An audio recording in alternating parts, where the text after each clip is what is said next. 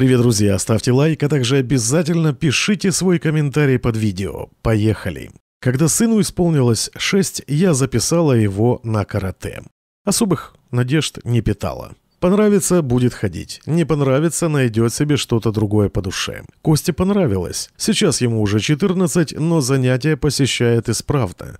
В отличие от школы даже не прогуливает. Бывает у них часто соревнования, кумите, спарринги на ринге. Я редко на них хожу, Костя уже взрослый, справится и без мамочки. Но в тот день решила сходить. Муж уехал в командировку, был выходной, а дома сидеть одной скучно. Первыми на ринг выходят малыши. Сначала в возрасте 6-7 лет, потом 8-9, потом 10-11 и так далее. Интереснее всего смотреть, конечно, на выступления старших парней от 14 лет.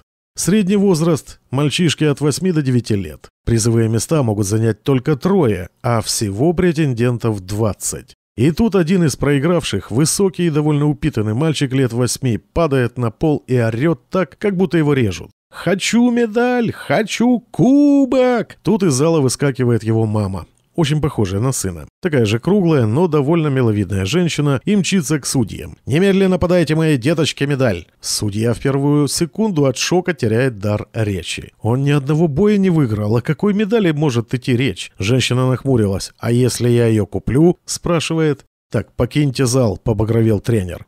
Он у нас человек с историей. Были у него очень громкие победы и не менее сокрушительное поражение. Напоминаю, действие происходит в переполненном зале при детях и их родителях. «Безобразие какое!» — возмутилась женщина. «Вот я мужу скажу. Он, между прочим, за эту школу платит неплохие деньги». Ее чадо продолжало валяться на полу. «Мама, медаль!» Честное слово, малыши в супермаркетах за киндеры такие истерики не устраивают. А я еще своим Косте была недовольна. Да идеально у меня сын. Ему бы и в пять лет не пришло бы в голову такое делать. Поудивлялась я и смотрю дальше. На ринг выходит приятель первой истерички. Он проиграл еще быстрее, чем друг. И ситуация повторилась. Вопли «дайте мне медаль». Родители уже не могут сдержать улыбок, дети откровенно веселятся. С этим парнем нет мамы, зато есть бабушка. И деньги предлагала. И затем пугала. Но судья, который от злости становился все краснее, не отступал. Медали только за победу. И тут со скамейки победителей поднялась девочка. Маленькая такая, лет шести, со светлыми косичками. Она протянула пацану свою медаль и, улыбнувшись, спокойно сказала. «Держи, только не плачь, а я себе еще заработаю».